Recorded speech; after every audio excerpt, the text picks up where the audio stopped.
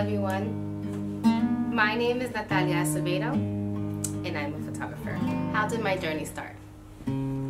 Like any other organic story, there's always a start in the sense of that there's always that moment where your heart just kind of like swells and the excitement is inexplicable. Well, I could say that for a few reasons. Um, my journey started when my son Nathaniel was born. He is 13 now. Yes, a very cool teen. And I'll never forget the feeling of it's almost like saying forever isn't long enough. It's like it's the idea of you know all those first moments just not being enough to have witnessed it. You want to it goes so fast that you want to revisit. You want to capture it, you want to grasp it, you want to keep it forever. Obviously, time forgives no one.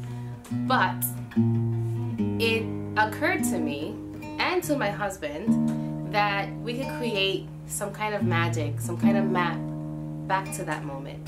And that's where photography comes in. That's when Nphotography was born. We wanted to make sure that our son was growing, and as we were witnessing it, we were able to grasp so many of those first moments and be able to revisit. But it created the reality that, you know, these these moments just fly by and you're not able to grab everything, but the ones that you do though, the ones that you intentionally kind of like design and, and just make sure to implement, those are worth grabbing, those are worth cherishing. And we never took it for granted. My love for photography obviously stemmed from that and that became a career for me. It just it became an obligation to create a life with a mission to just put this awareness out there.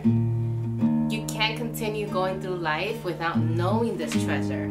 It's such an advantage.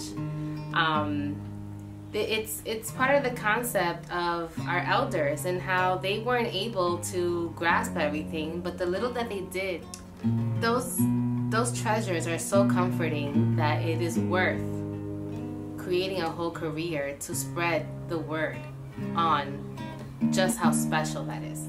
All these emotions, all this intention, and all of this implementation definitely pushed forward my other concept of photography, which is time travel. When I first came out into the photography world, my slogan was Nphotography, where time and photography fell in love. I was trying to find a way to express how, you know, we, we are responsible to make sure that those two worlds collide. But it's really the concept, right? It's the it's the privilege of being able to go back in time, whether it's you want to change something or you want to see someone again or whatever the case may be. That science, I promise you, is actually through photos. Think about it. Every picture that you've ever taken, that you were present in the moment, that you were in the picture for most part. Maybe, you know, some years ago if you were little, you're not going to remember to the T, but maybe you can. I promise you, those pictures that you were present in, that you felt intentional in, that there was some kind of cosmic just feeling, you'll remember, at least for a few seconds, what that same moment was what that embrace was, what the music in the background was, what the smell of the food being cooked or whatever the smell is. You'll remember that exact moment. You'll be able to relive it. That's time travel. That's what I am trying to tell the world. Like we are sitting on the biggest treasure. The biggest treasure. Why not actually make something so simple way more valuable in your life? Why not actually appreciate it? And make sure that others hear about it. It all comes down to one thing, and it's love. How better to spread love than through photography? Once again, my name is Natalia Acevedo. I am here in this gallery as a photographer who is now considered considering herself an artist. I met Jessica Abbey, the awesome designer of all the couture that you guys will view today, at a financial literacy um, seminar. I was there as a student as well as a business partner. My husband is a financial professional in this realm, and we're just exploring the things that we need to learn. Shout out to World Financial Group. And I met Jessica, and she basically introduced herself as someone who's here to make dreams come true. That moment meant a lot to me because I was just kind of telling her, we were just mingling in this event, and I was literally just telling her that I had a dream, which was to showcase my work at a gallery someday. And here we are.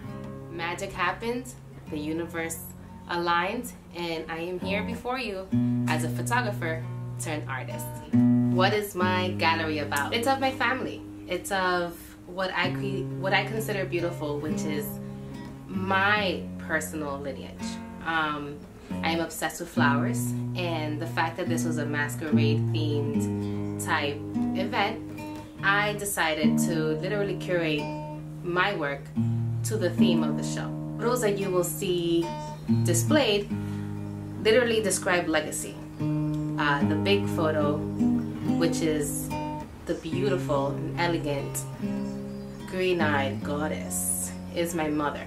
She is my mom, my hero, and a big inspiration. She was, you know, that typical story of single mom in a world that didn't understand her. And she fought tooth and nail to give my brother and I the kind of life that she envisioned for us. Uh, that came with a lot of sacrifice and a lot of, you know, shedding different layers that she didn't know she had to shed. So that beautiful photo where she has all of these crystals on her face are basically a representation on how she was, you know, handed some stones and she made them into gems. That's why it's named Unmask Her. Because as much as you want to unmask her, she is a survivor. She has made something beautiful out of everything that she was thrown. And I admire her strength. And as a mother, I can only imagine the struggles. Then secondly, I have displayed a photo of the men in my life. A few of them. So only the most important, right? Those are three men in my life that I absolutely adore. It's my son, my husband, and my brother. Uh, they are representing the love for the sport, but also for the reality of not everything comes out the way that you want it to, but you have to persevere. And in that photo, you see that they're kind of serious and but still hopeful, and the name is masculine. I just feel like that photo gave so much power and guidance to my son. just it's cosmic for me because my son had the guidance from the masculine representation in his life, and this photo kind of brings all of that together. My third um, photo in the display of this gallery is my daughter. So that one is actually directly linked to my mother's photo. It's almost kind of like saying this is the before and this is the after. But also it, she's her direct lineage and it's a representation that, you know, her life went a certain way, but my daughter's doesn't need to be the same. That's why my daughter doesn't have a mask on. She has she hasn't been dealt the cards yet and she still has a chance at her life her way in her own design. She's basically sleeping on a garden of roses and it's like a representation of being able to sleep in that peace. That view of just how much we want to make sure our children are still children.